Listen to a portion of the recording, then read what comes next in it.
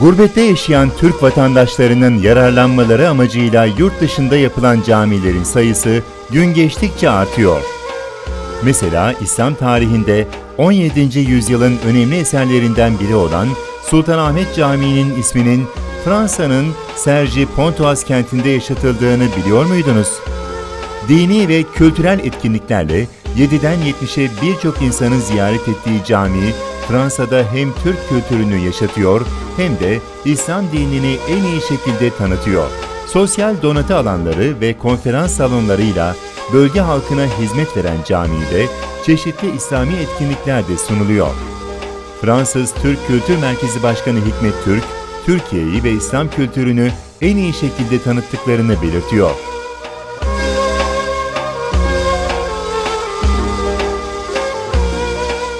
Bizim derneğimiz 1987'den beri burada faaliyet göstermekte. Önceleri Pontoaz merkezdeydi, küçük bir binadaydı. Şimdi ise bu gördüğünüz alan 10 bin metrekarelik bir alanımız var.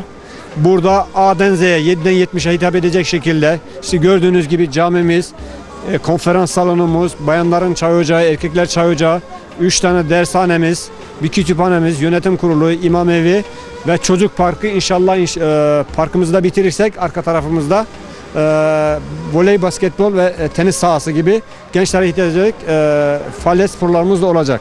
Ha, buradaki amacımız buradaki gençlerimizin siz de gördüğünüz caminin içinde Türkiye'yi aratmadan işte caminin mimarisiyle ha, bize e, maddi olarak biraz sıkıntılar getirdi. Ama buraya girince e, e, insanlar kendini Türkiye'de hissediyor. Herhangi bir camiye gelmiş gibi e, eşini, dostunu burada bulabiliyor yani.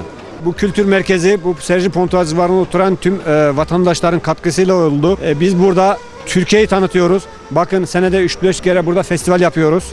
E, Türkiye'yi tanıtıyoruz ve çocuklarımıza Türkiye'de olup biteni anlatıyoruz. Çünkü bizim çocuklarımız burada doğma büyüle. Biz Avrupalı veya Fransa Türkleri olarak biz burada kaldık. Ama bizim ana vatanımız orada. Camide Kur'an kursu eğitimi de veriliyor.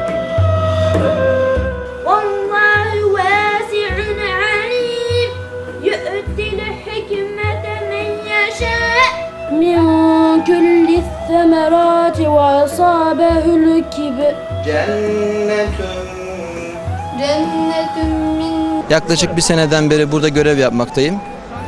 Burada e, Türk vatandaşlarımıza elimizden geldiğince hizmet etmeye çalışıyoruz.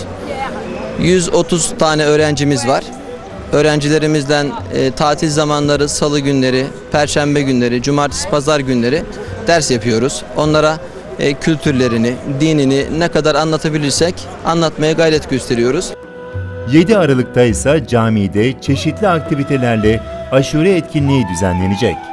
Sultanahmet Camii'nde e, etkinlikler neler olacak? Gelecek işte haftalarda, aylarda programlar arasında biraz bizimle paylaşabilir misiniz? Evet, e, 7 Aralık biliyorsunuz Muharrem ayının sonu e, Aşure günü. Onu kutlamak için her sene olduğu gibi işte bir aşure programı yapıyoruz. Bu sene biraz daha kapsamlı olacak. E, Sebahattin Uçar hocamızın önderliğinde Kur'an ziyafetiyle aşure gününü kutlayacağız. Bu arada bayanlarımız işte derneğimize, camimize katkı olsun diye matine gibi bir şey hazırlayacaklar. İşte kö- köftesiydi, lahmacunuydu, sergiler vesaire. Bütün vatandaşlarımızı 7'den 70'e çoluk çocuk, bayan erkek demeden herkesi buraya bekliyoruz. 7 Aralık Cumartesi günü hem Kur'an ziyafeti hem e, ilahiler, şarkılar, türkülerle beraber inşallah aşure gününü kutlayacağız. Paris civarında oturan tüm e, eş ve dostlarımızı burada programımıza bekliyoruz. Caminin en büyük destekçilerinden biri Türk iş adamı Sever Hoşgören.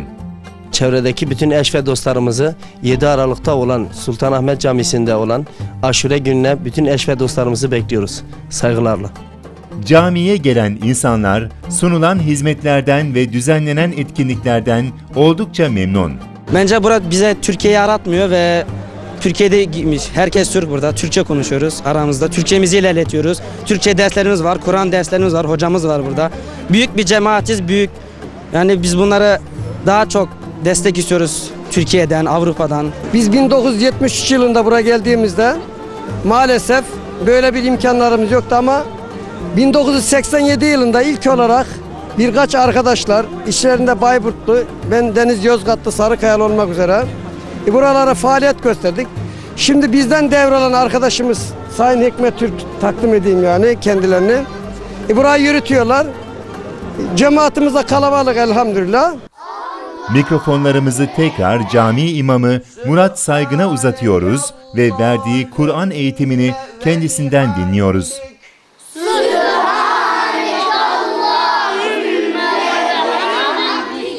Hafta sonları ders veriyoruz. Cumartesi, pazar günleri gruplar halinde alıyoruz. Sabah 9.45'ten 11.45'e kadar, 11.45'ten saat 2'ye kadar kız öğrencilerimize ders veriyoruz. Öğleden sonra, öğlen namazından sonra 2.30'dan 4.30'a kadar bir grup, bu gördüğünüz gruba ders vermeye çalışıyoruz.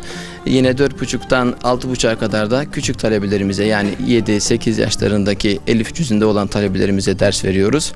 E, bu grubumuz Kur'an grubu. E, Kur'an-ı Kerim'i biraz öğrenmiş, e, ileriye taşımak isteyen arkadaşlarımızın grubu.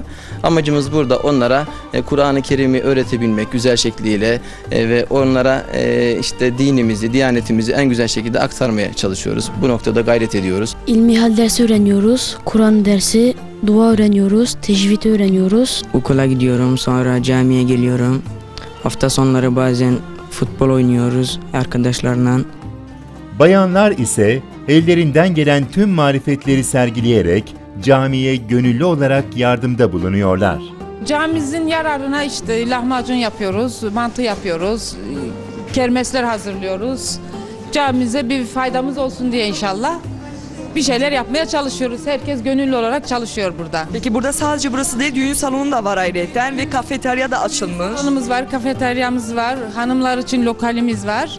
Buradaki bayanların hepsi de işte gönüllü olarak geliyorlar. Ben de onlardan birisiyim. Yardım ediyoruz işte gönüllü olarak.